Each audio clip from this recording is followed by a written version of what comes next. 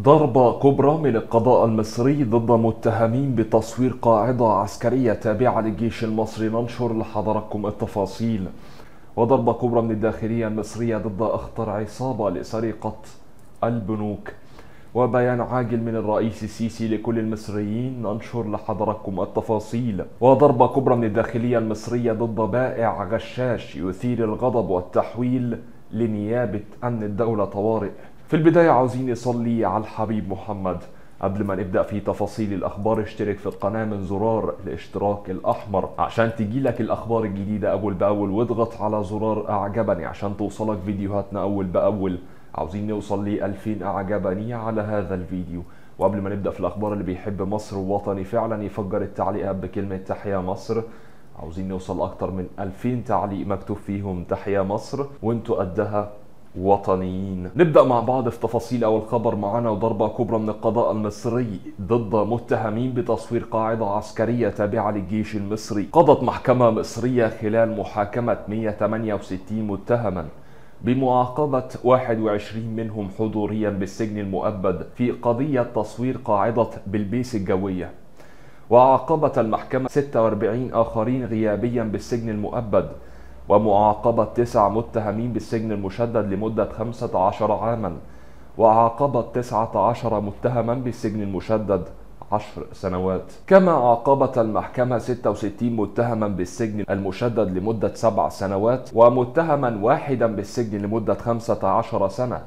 وقضت المحكمة بمعاقبة أربعة متهمين حدث بالسجن لمدة ثلاث سنوات. وقضت المحكمة بانقضاء الدعوة الجنائية لمتهمين اثنين لوفاتهم وكانت محكمة الجنايات المختصة أصدرت الحكم على 170 متهما في القضية رقم 247 لسنة 2016 المعروفة إعلاميا بتصوير قاعدة بلبيس الجوية.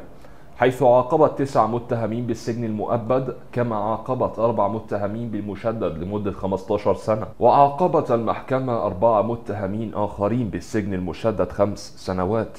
ومتهما واحدا بالسجن خمس سنوات. وأعفت المحكمة المتهم رقم 85 من العقوبة. وبراءة متهمين اثنين من التهم المنسوبة إليهما.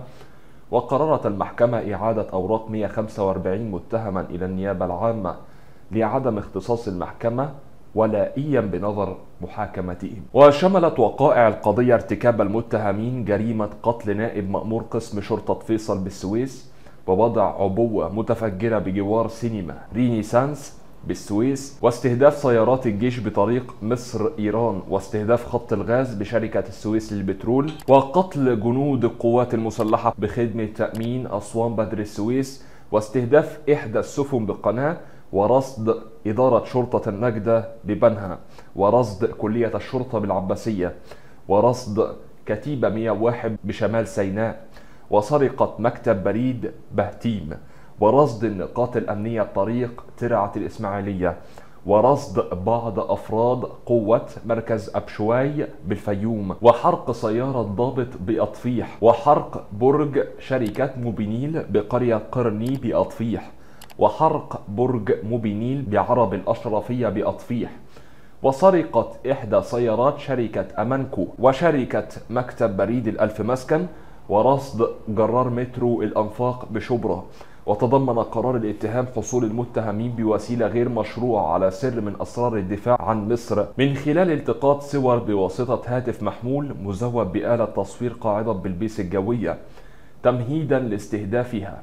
كما كشفت الأوراق وضع المتهمين عبوة ناسفة بجوار قصر القبة ووجهت النيابة للمتهمين خلال التحقيقات اتهامات بالسعي لدى جماعة إرهابية مقرها خارج البلاد والتحقوا بجماعة إرهابية داعش سوريا وليبيا.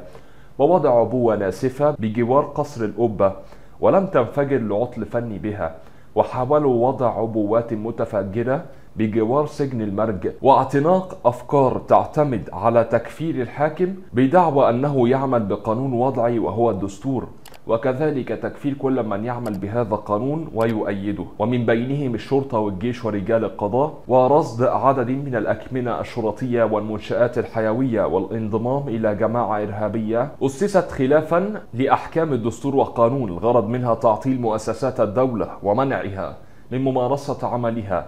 وتلقي تدريبات على يد عناصر تنظيم أنصار بيت المقدس في سيناء واستهداف قوات الأمن. المصدر معنا كان من الدستور أترك لحضراتكم التعليق على هذا الخبر.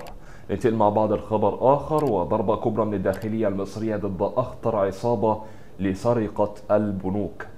وزارة الداخلية أعلنت عن ضبط خمسة من عناصر تشكيل عصابي تخصص في الحصول على بيانات بطاقات الدفع الإلكتروني الخاصة بالمواطنين بطرق احتيالية والاستيلاء على أموالهم. قالت الداخلية في بيان لها في إطار جهود أجهزة وزارة الداخلية لمكافحة الجريمة بشتى صورها وذلك في جرائم النصب والاحتيال على المواطنين والاستيلاء على أموالهم. فقد تلقت الإدارة العامة لمكافحة جرائم الأموال العامة بقطاع مكافحة جرائم الأموال العامة والجريمة المنظمة. عدد من البلاغات تفيد تعرض بعض المواطنين لوقائع نصب واحتيال من خلال الحصول على بيانات بطاقات الدفع الإلكتروني الخاصة بهم بطرق احتيالية من قبل مجهولين والاستيلاء على مبالغ مالية من حساباتهم بالبنوك. وأضافت بإجراء التحريات وجمع المعلومات توصلت الجهود إلى أن وراء ارتكاب ذلك النشاط المؤثم عناصر تشكيل عصابي مكون من سبعة أشخاص لأحدهم معلومات جنائية تخصص في النصب والإحتيال على المواطنين. والاستيلاء على بيانات بطاقات الدفع الإلكتروني بطرق احتيالية وذلك عن طريق قيامهم بالاتصال هاتفيا بالمواطنين منتحلين صفات موظفي خدمة عملاء بشركات المحمول وإيهام المجني عليهم بفوزهم بجوائز مالية وموظفي خدمة عملاء بنوك مختلفة وطلبهم أرقام بطاقات الدفع الإلكتروني بدعوى تحديث بياناتهم وموظفي عدة جهات حكومية وإيهامهم بصرف مبالغ مالية. المصدر معنا كان من المصري اليوم. أترك لحضراتكم التعليق على هذا الخبر. نجاح وزارة الداخلية في ضبط المتهمين دول شيء مهم جدا. اوعى تتعرض لعملية نصب من هذا النوع. إن حد يكلم حضرتك ويقول لك أنا من شركة كذا حتى لو الرقم مميز أو الرقم مكون من خمس أرقام بس أو أربع أرقام. زي ما ذكرت أمس إن ده بيبقى سهل جدا إن إحنا نعمل الموضوع ده ببرامج مدفوع ليها فلوس. ناخد بالنا وأي حد يكلمنا يقول لنا هنحدث بيانات كسبت جايزة ايا كان اوعى تديله بيانات بطاقة الدفع بتاعك إذا كانت فيزا أو ماستر كارد أو حتى يعني ميزة. أترك لحضراتكم التعليق على هذا الخبر. ننتقل مع بعض الخبر آخر وبيان عاجل من الرئيس السيسي لكل المصريين و أكد الرئيس عبد الفتاح السيسي أن القضية الأهم في مصر هي قضية الوعي بمفهومها الشامل داعيا إلى إجراء إعادة صياغة لفهم المعتقد الذي نؤمن به. وفي تصريح لقناة صدى البلد قال الرئيس السيسي أتصور أن القضية الأهم هي الوعي بمفهومها الشامل سواء الوعي بالدين كلنا اتولدنا والمسلم مسلم بالبطاقة ولكن علينا إعادة صياغة فهمنا للمعتقد الذي نؤمن به. عندك استعداد تمشي بمسيرة بحث في المسار ده لتصل للحقيقة وأضاف شفنا مدينة الأمل وامشوا وسط الشوارع وشوفوا أحوال الناس. وده حاجة من خمسين أو ستين مدينة في مصر.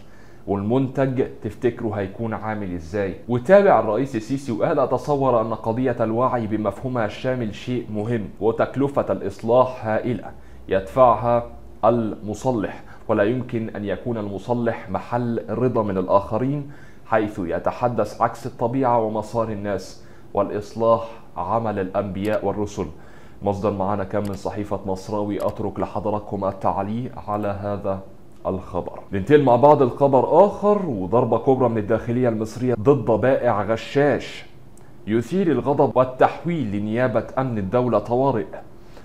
تداول نشطاء مواقع التواصل الاجتماعي فيسبوك نشروا فيه في مصر في محافظة سوهاج خلال الساعات الماضية فيديو يظهر فيه غش أحد البائعين الجائلين المتواجدين بمنطقة ميدان العارف بالله بمدينة سوهاج. ظهر البائع وهو يضع ثقلا في كفة الميزان التي يضع فيها الطماطم وذلك عن طريق المغافلة دون أن تنتبه إليه السيدة مرددا لها بعض الكلمات التي تشير إلى انزعاجه منها حسب ما جاء في الفيديو المنشور. يعني إيه اللي بيحصل؟ البايع الجائل ده بيقوم حاطط وزن وزن اللي هو بيبقى زي المكعب كده أو يعني الوزن بيبقى كيلو جرام اللي بيوزن بيه على الميزان بيحطوا مع الخضار اللي بيوزنه بيحطوا معاه عشان يوزن أكتر ويسرق أكتر. ففي آية في القرآن بتقول من سورة المطففين ويل للمطففين الذين إذا اكتالوا على الناس يستوفون وإذا كالوهم أو وزنوهم يخسرون. ألا يظن أولئك أنهم مبعوثون ليوم عظيم؟ طبعا يعني ربنا بيحذر المطففين اللي هم بيلعبوا في الميزان. بيعني عذاب شديد. طبعا حماية المستهلك اتحركت واستهدفت إدارة حماية المستهلك بمديرية التموين بسوهاج بالتنسيق مع إدارة مباحث التموين بمديرية أمن سوهاج البائع المشار إليه وتم ضبطه والتحفظ على الميزان خاصته. وتحرير محضر بقسم شرطة أول سوهاج كما استهدفت الحملة باقي الباعة الجائلين المتواجدين في ميدان العارف بالله. وتم تحرير سبع محاضر أمن دولة طوارئ وضبط عدد من الموازين لعدم دمغها والتلاعب فيها. وتبين أن البائع له معلومات جنائية ومطلوب التنفيذ عليه في عدة قضايا. ومقيم بدائرة مركز شرطة سوهاج وبمواجهته اعترف بارتكاب الواقع. مصدر معانا كان من وسائل إعلام مصرية يعني المطفف ده يعني عقابه هياخده في الدنيا وبرضه في الآخرة هياخد عقابه من ربنا بسبب إنه كان بيغش الناس ويسرق الناس ويلعب في الميزان ويحط موازين مع الخضروات. شيء يعني سيء جدا. أترك لحضراتكم التعليق على هذا الخبر. جينا مع بعض لنهاية نشرة الأخبار. أتمنى أكون خفيف على حضراتكم ما تقلتش عليكم إن شاء الله. وانتظرونا في أخبار جديدة بإذن الله أول بأول. إن شاء الله أشوفكم في فيديو جديد وقريب. وما تنسوش تعملوا متابعة للصفحة عشان تجيلكم الأخبار الجديدة أول بأول ولو حضرتك استفدت ما تنساش تعمل مشاركة للفيديو عشان غيرك يستفيد. والسلام عليكم ورحمة الله تعالى وبركاته.